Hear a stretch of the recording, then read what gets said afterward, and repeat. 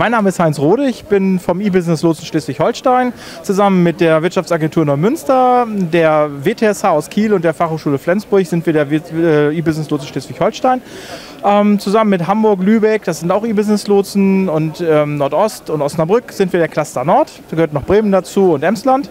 Und wir haben alle unterschiedliches, alles ein großes Themenportfolio im äh, Rucksack und wir richten uns an die Unternehmer im Land, um ihnen bei der Unterstützung äh, behilflich zu sein, nein, um sie zu unterstützen für die äh, Digitalisierung ihrer Geschäftsprozesse uns spricht man immer dann an, wenn man jemanden Unabhängigen haben möchte, jemanden, der nichts zu verkaufen hat, aber viel mitzuteilen. Sprich, wir laden zu kostenfreien Informationsgesprächen ein. Wir kommen auch zum Unternehmen direkt hin für vertrauliche Gespräche.